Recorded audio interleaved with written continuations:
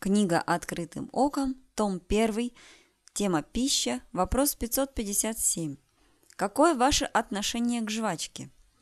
Отвечает Игнатий Тихонович Лапкин. Самое отрицательное. Никогда не жевал и могу сказать с апостолом Петром. Деяние 11.8.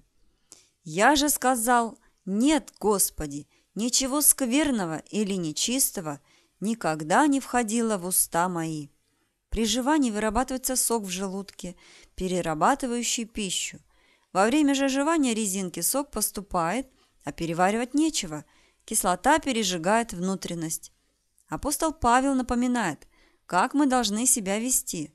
Ефесянам 5.3. А и всякая нечистота и любостяжание не должны даже именоваться у вас, как прилично святым – Жвачка полностью состоит из химических несъедобных элементов.